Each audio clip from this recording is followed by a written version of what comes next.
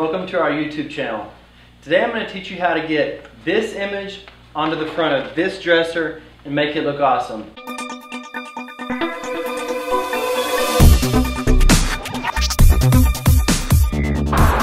Alright, so here I am over in our shop. As you can see, we have pieces over here from painting project pieces to stuff going to the upholsterer to all kinds of stuff. I hope the traffic, the road noise is not too loud out there. But when you're looking for a piece to uh, transfer an image to, like we're going to do in this video, you want to find a piece that is completely flat, that doesn't have any detail. Uh, that's what's great about these kind of mid-century, more modern pieces, is they have those clean lines and not a lot of detail. That's exactly what you want when transferring image. So you're able to get the image transferred on there. You don't have to work through a lot of detail. So let's get it over into the back of the store and uh, get to work. All right, so the first step in this process is to paint our piece. Now, if you notice in the original image we're gonna transfer onto the front, the surrounding color, pretty much the base of the image, the color is white. So I'm gonna paint the piece white. And we're gonna, the brand is Maison Blanche, the vintage furniture paint we're gonna use, and the color is Maison White. So let's go ahead and do a base coat over our whole piece, and then we will transfer our image.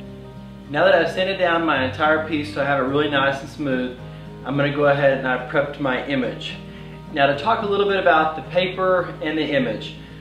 We have a wide format printer that allows us to print this ourselves, but don't let that stop you if you don't have one. You can go to any office supply store. I've done it before at Staples, before we had our wide format printer, and they would print it for you.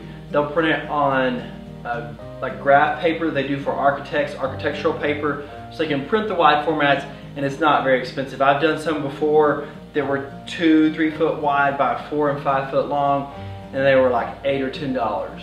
Now here I went ahead and measured each piece starting from the bottom, which was the bottom of my image. I measured each drawer and from there I cut each drawer. And I lay them all out to make sure they fit. Everything's lined up perfect. So now I'm ready to go ahead and transfer my image. To attach your image to your piece of furniture, today I'm going to use uh, Mod Podge, the matte version.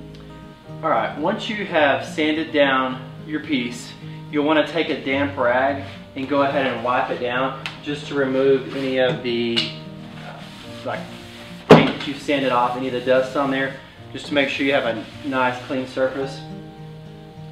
Now shake your Mod Podge well, and then I'm just going to apply it with a chip brush. My brush won't fit in there. So I'm just going to apply a good amount over the surface of my drawer. You want to make sure and get all your edges really well. That way your image doesn't try to peel up around your edges. That you have all your edges coated really well with your Mod Podge.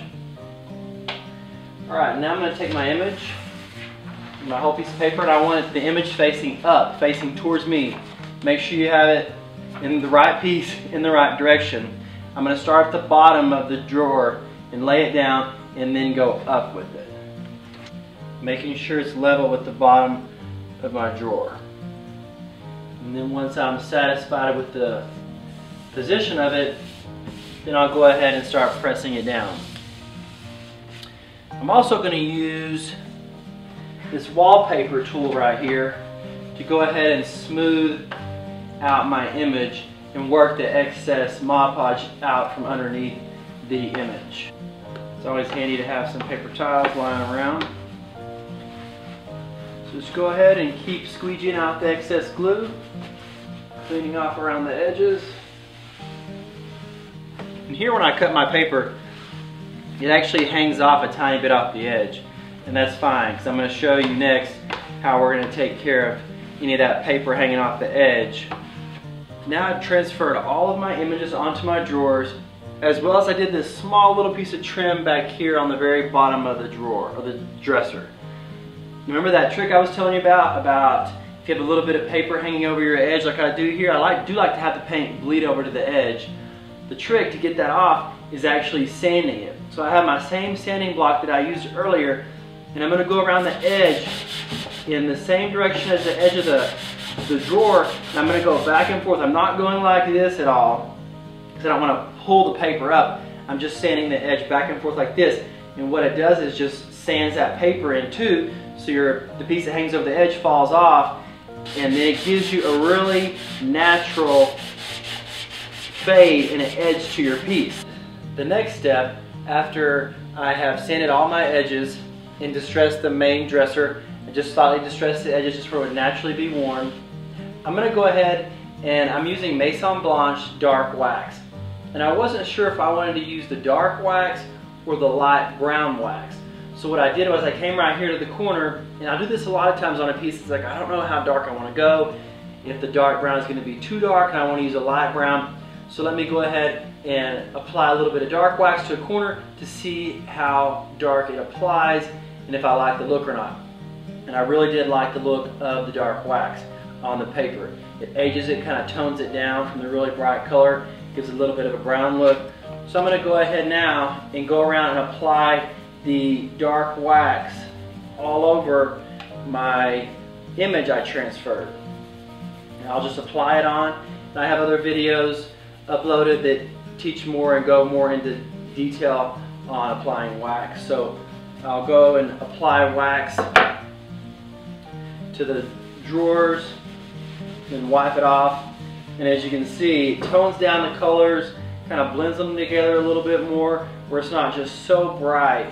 Um, gives it a little more age and I think makes it look more natural, kind of like an old piece that was painted a long time ago and just kind of gives it a little more patina on there. So I'll go ahead and do this to all the drawers as well as the main body of the dresser and we'll be back to show you the next step which is going to be to put a sealer over the piece.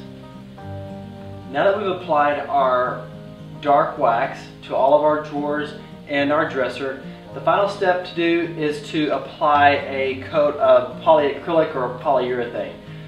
Uh, this is a water, it's made by Minwax. It's a water base called polyacrylic and this is a, this one's actually satin. I'm gonna go grab one that's actually matte. We hadn't realized this is actually a satin finish, but I always use a matte finish just because there's no sheen. I feel like on aged furniture it's going to have a more dull matte finish. So um, I'll apply this on just with a regular, this is a Purdy brand angle brush. I will apply the sealer. I like to do that on a piece like this just because since we do have the paper that we transferred onto the drawers, it will provide that extra layer of protection just so no edges peel up or if somebody was to bump into it with something sharp, it wouldn't necessarily scratch it or scratch the paper. And I will only apply this to the drawers. I won't apply it to the whole piece. So I'm going to go ahead and apply this and we'll be back and I will show you the finished product. Well, the piece is back together and I thought it turned out great. It's amazing what printing out an image for a few dollars and a few hours worth of work can do to a piece like this now to talk a minute about images, I purchased this image off of Shutterstock. Um, you can go there and purchase the image too. I'll put a link in the description. You want to be careful if you're doing this to sell, you need to make sure you purchase the extended license or the rights to sell your product that you use the image on. Just be careful on that if you do use this and you sell it, that you purchase the right license and give credit where credit is due.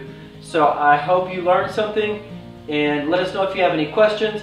If you like this video, hit the like button. If you like this type of stuff, how-tos, behind the scenes vlogging, go ahead and subscribe to our YouTube channel. If there's any other videos you'd like to see, put that in the comment section below and we'll see what we can do to fix you up. So I hope you enjoyed it. We'll see you next time. Design has been such an important part of our lives for so many years now. Our mission here on our channel is to inspire you to style a home you love with items that have a history and help create your unique story.